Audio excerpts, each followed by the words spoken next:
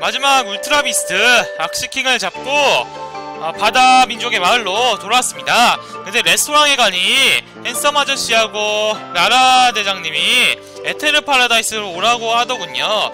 그래서 에테르 파라다이스, 파라다이스 로 돌아가 보겠습니다. 그리고 에테르 파라다이스에서 그 지하실 lab에 들어와서 여태까지 잡은 포켓몬에 대한 정보를 들어보도록 할게요. 이렇게 리자몽을 타고 에테르 파라다이르 에테르 바, 파라다이스로 돌아왔습니다. 힘들게 어, 울트라 비스트를 다 잡으니까 노을이 져버렸네요. 울트라 비스트 잡는다고 어, 날이 저문 것 같습니다. 그렇다면 스프레이 효과는 계속해지, 계속해서 쓰고 있지 않, 에, 쓰지 않을게요. 어, 실수로 보호구역으로 올라가 버리네. 아, 지하실로 lab이 있는 지하실로 내려가야 되는데 다시 엘리베이터를 타고 어, 내려가도록 할게요.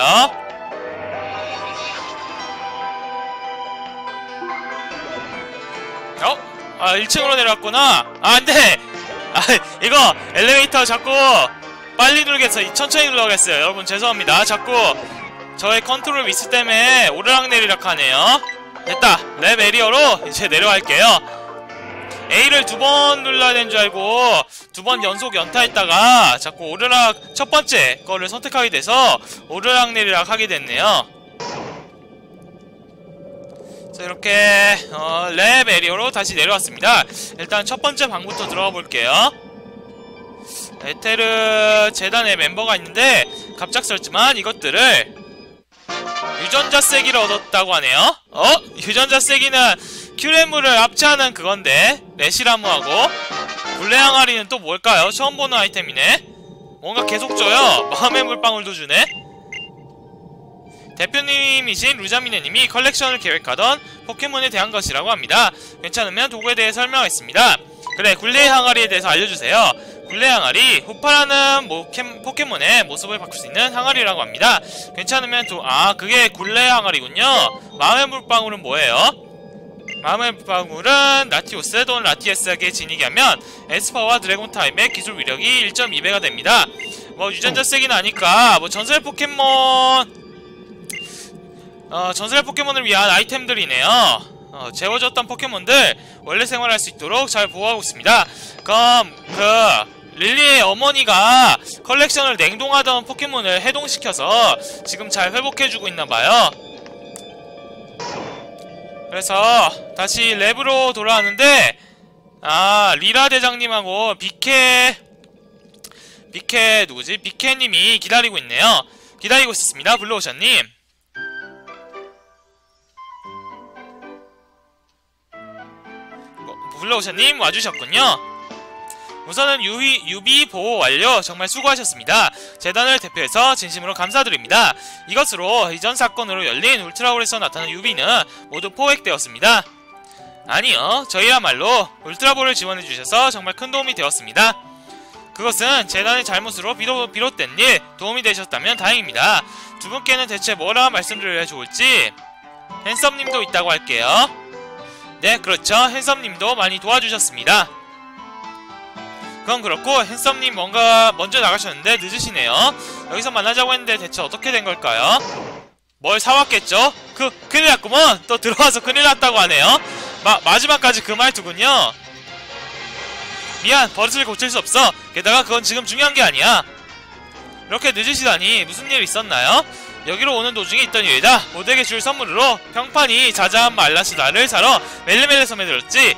말라사다를 사고 나온 나는 문득 하늘을 올려다보았어. 그 순간 알로라의 푸른 하늘에 수수께끼 검은 무언가가 스쳐 지나갔어. 그것, 그것은 검은데도 빛나고 있었어. 그야말로 불가사의한 shining. 그래, 그것은 UB일지도 몰라. 아니, 틀림없어, UB다. 설마 본부에서 그런 연락은 안심하세요. UB는 아닐 겁니다.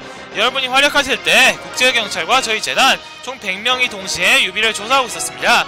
그 결과 보호된 유비의 의외는 반응이 없었습니다. 아무래도 안심해도 될 것 같군요. 그, 그렇군. 아름답게 빛나는 알로라에 하늘에 홀린 모양이다. 어쩔 수 없죠. 다들 많이 지치셨을 테니까요. 그건 그렇고 앤썸님, 당신도 고생이 많았군요. 뭐 하긴 조금 푹 쉬고 싶긴 하다.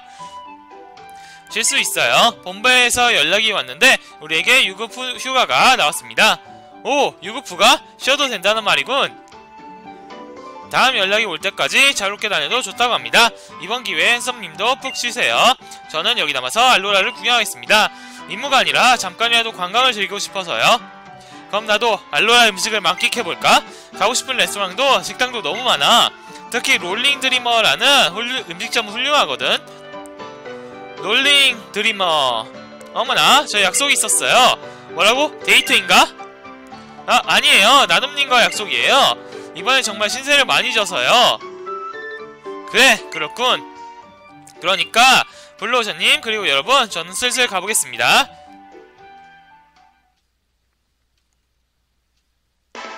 정말로 감사합니다. 또 어딘가에서 만나요. 라고 리라 대장님이 떠나시네요. 핸섬 아저씨도 그럼 더 이상 못 보는 거잖아요. 블루오션 정말 고맙다. 보스가 마지막까지 무사할 수 있었던 건 너의 활약 덕분이야. 본부로부터 사례가 있는데 받아주지 않겠나? 오 뭐야 무슨 돈을 100만원이나 주네요 갑자기 돈이 엄청나게 증가해버렸어요 그럼 나도 슬슬 가보겠다 멜레멜레에 모텔에 있을 테니 시간 나면 놀러와 그렇다면 핸섬 아저씨랑은 또 만날 수도 있겠네요 영원히 못 보는 건 아니고 UB 보호 임무 완료. 알로라는 아름답게 빛난다. 라고 해서 UB가 모두 다 잡혔습니다. 그렇다면 대화해볼게요. 블루오션님 용무가 있으시면 말씀해주세요. 어, U, UB의 특징이라 할게요. UB는 비스트 부스트라고 불리는 오라에 둘러싸여 있습니다. 이것은 이것의 정체는 울트라홀 내부에 차있는 에너지입니다 UB는 울트라홀 안에 통과하는 동안 대량의 에너지를 받아서 체내에 축적하고 있는, 것이, 있는 것일 겁니다 그리고 지상에도 이 에너지를 받은 포켓몬이 있어요 아시겠죠? 당신이 실현하고 맞섰던 주인 포켓몬이라고 불리는 이들입니다. 홀이 열리면 에너지가 지상에 쏟아지니까요. 블로셔님 용무가 있으시면 말씀해주세요. 데이터를 볼게요. 어느 울트라비스트에 대해 알고 싶으신가요? 텅비드에게 물어볼게요.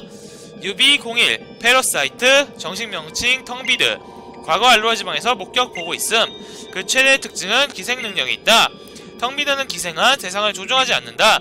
대상의 능력을 극도로 끌어올려서 자신을 지킨다. 이를 위해 기생할 대상에 신경독을 주입한다. 텅비드의 독에는 강력한 각성작용이 있어 기생한 대상의 극도의 흥분과 자아의 해방을 발생시킨다. 즉, 텅비드가 기생한 대상은 심신의 능력이 강제로 100%까지 발휘되어 제멋대로 거침없이 행동한다. 라고 이렇게 조사가 되어 있네요. 다면 다음 포켓몬 근육이 많은 매시붕에 대해서 물어볼게요. Expansion, 어, 정식 명칭 매시붕, 에테르재단 사건 이후 처음 목격된 UB, 그 최대 죄송합니다. 목에 뭐가 걸렸어요. 그 최대 특징은 강한 능력이 있다. 메시붕은 에너지를 흡 수하는 능력을 지녔다. 흡수한 에너지와 체액은 화학, 화학 반응을 일으켜서 그 결과 메시붕의 육체는 폭발적으로 팽창한다. 근육은 두껍고 밀도가 더해져 강철을 뛰어넘는 강도로 변화한다. 공수 양면으로 비약적인 파워업을 하는 것으로 알려졌다. 또한 행동할 때 포즈를 취하는 습성이 있다네요. 커뮤니케이션의 수단으로 생각되나 자세히 밝혀진 바는 없다. 그렇다면 세 번째, 그 전기 포켓몬에 대해서 알아볼게요. 전수목, UB03 Lightning 정식 명칭 전수목, 에테르 재단 사건 이후 처음 목격된 UB 최대의 특징은 발전 기관에 있다. 그 육체 구조는 전선과 성질이 매우 닮았다. 때문에 높은 효율로 전기를 조준 것이 가능. 최대 100만 볼트나 되는 전기를 방전하고 전력이 부족해지면 양발과 꼬리를 대지에 꽂아 나무와 같은 형태를 하고 지면에서 전기를 흡수한다고 이렇게 설명되어 있나요? 있네요. 그리고 네 번째 포켓몬 종이 신도에 대해서 물어볼게요. 얘 좀 사이즈가 작고 특이한 포켓몬인데 UB04 Slash 정식 명칭 종이 신도 에테르 재단 사건 이후 처음 목격된 UB 최대의 특징은 얇고 예리한 육체에 있다. 전신은 잘 갈린 칼날처럼 날카롭고요. 양팔은 뛰어난 절삭력을 가졌다네요. 덤벼드는 상대를 단칼에 베어버리고 얇은 몸은 가벼워서 춤추듯이 공격을 피한다고 나와 있습니다. 공수가 뛰어난 위험한 생명체이지만 불꽃과 습기에는 극단적으로 약한 성질을 보인다 라고 합니다. 뭐 강철 타입 포켓몬이니까 불꽃에 약할 만도 하죠. 그 다음에 약시킹 이게 제일 신기한 포켓몬인데 크고 유비05 글러터니 정식 명칭 약시킹 과거 알루라 지방에서 목격 보고 있음 국제경찰이 극비리에 대처해 나선 모양이다 최대의 특징은 무한한 식욕이 있다. 잠들 때를 제외하고 항상 포식을 계속한다. 길게 늘어나는 거대한 두 개의 혀를 사용해서 유기물, 무기물, 유기물을 불문하고 모든 것을 잡아먹는다. 엄청난 식사량에도 불구하고 약시킹의 배설물은 발견되지 않았다. 먹은 것을 모두 에너지로 변화하고 있는 것으로 여겨진다. 그 물체를 에너지로 변화시키는 거는 이미 아이 아이 아이 아이슈타인의 그 설론이 악시킹을 악시킹이 쓰고 있다는 거네요. 그 아이, 아이슈타인이 그 물체와 에너지에 대한 거를 어, 어떤 발표를 했거든요. 예전에 자세히는 모르지만 그거에 대한 건 알고 있거든요. 일단 아무것도 아니에요라고 할게요. 우리 조심하세요. 하고 이렇게 울트라비스트 조사를 모두 마쳤고 어, 핸섬 아저씨를 한번 보고 할게요 핸스, 멜레멜레 섬에서 핸섬 아저씨는 뭐를 하나 좀 어, 알아보고 가게 그러면 일단 입구로 가겠습니다 공중날기를 해서 멜레멜레 섬의 모텔로 가볼게요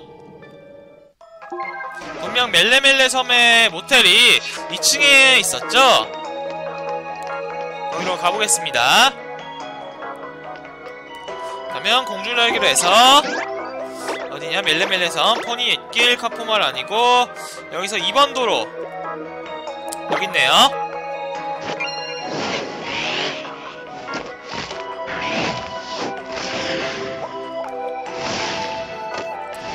이렇게 해서 멜레멜레 섬에 도착을 했습니다. 그러면 이번 어, 그 핸섬 아저씨를 마치 핸섬 아저씨를 만나면 울트라 비스트 내용에 대한 거는 스토리를 끝난 스토리가 끝난 것 같아요. 그래서 예전에 하푸를 보고 어 포켓 어디지? 그 아닌데 어, 그 무슨 트리였었지? 배틀 트리 거기로 가볼게요. 그리고 배틀 트리로 가는 길도 아까 울트라비스트 잡으려고 악식킹 잡으려고 그냥 엄청나게 많이 지나쳤는데 거기를 천천히 탐험해 보겠습니다. 왜냐면 배틀 트리로 가는 길이니까요. 그 핸섬 아저씨를 다시 만났는데 무슨 일이 있나? 아니면 정보가 필요한가? 아, 그 울트라 비스트에 대한 UB를 잡았다라고 아 잠시만 질세스 UB를 잡았다고 한 번 더 해볼게요. Nice 조크다 블록션 UB는 더 이상 없을 터. 내가 멜레멜레에서 본 검은 샤이닝은 망상일 것이다. 무슨 망상이 아닐 거야. 무슨 또 환상의 포켓몬일 것 같은데. 그렇다면 아님 레쿠쟈이거나 테오키스거나. 그럼 이렇게 해가지고 어 이렇게 해가지고 울트라 비스트 어, 스토리를 모두 다 마쳤습니다 이번 화는 그 에테르 재단에서 에테르 파라다이스에서 무슨 많은 일이 있을 줄 알고 따로 녹화를 녹화 따로 그 에피소드를 하나 만들라 했는데 별거 없이 끝나게 돼서 이번 화가 짧게 되었네요. 그렇다면 다음 화에서는 어 일단 제 집으로 돌아가서 하우를 만난 다음에 하우가 별말 없으면 포켓 그 자꾸 포켓트리라 하네 배틀트리로 향해 움직여 보겠습니다.